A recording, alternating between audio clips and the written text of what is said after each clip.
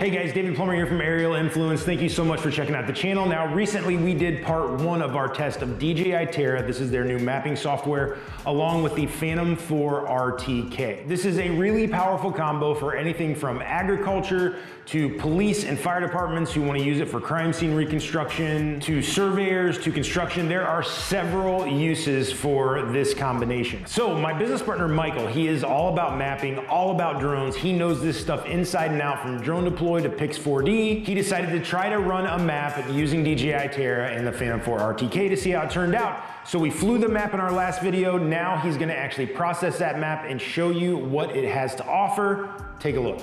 Okay, we're back here at Aerial Influence headquarters and we're gonna process the map. We put the SD card in and you're given two files. You're gonna go to survey and we did one map. So one mission is basically going to show up in one file folder.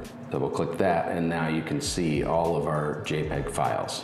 So now I'm going back into Terra and here's the map we flew. Go over to the sidebar on the right and you're gonna hit the map. Now it's asking to add photos and asking what type of map it is, the mapping scene, the resolution. Uh, for this, we're gonna actually go with a high resolution, so we're gonna see you probably in a couple hours. So it's given you field, urban, and fruit tree. So I'm gonna just go with field. And of course, you've got the 2D map and 3D model. I'm just gonna go with the 2D map because I only did, you know, straight down shots.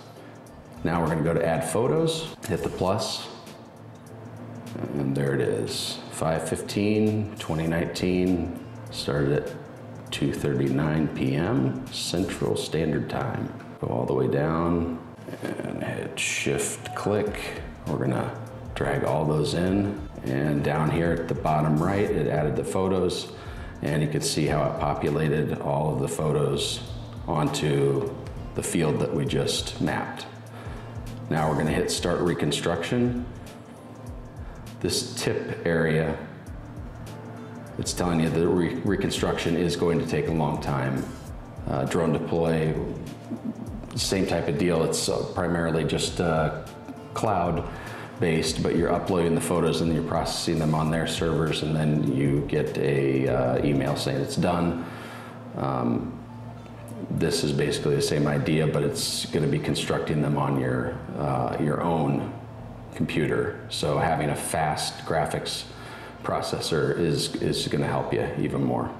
Going to hit start reconstruction and I don't really need to save a copy of all the new files or new photos in the mission folder, so I'm just gonna hit continue. And down here at the bottom right, you'll see it's processing, starting to process the photos. Zero, well now it just jumped to four out of 234. So we will wait and we'll be back later after it's processed and we'll show you all the outputs that it gave us. Okay guys, we're back in the office. We're gonna see the outputs that Terra gave us. So this is the interface for Terra and you can see our 15 plus acre map that we created. We're gonna take a look at the DJI Terra quality report. This is similar to the Pix4D.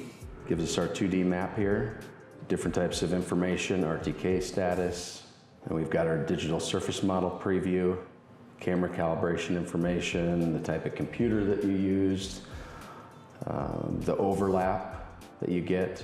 So overall, uh, I think it was a, it's a nice start for Terra. I need to delve a little bit more into it to see what kind of other outputs they give you.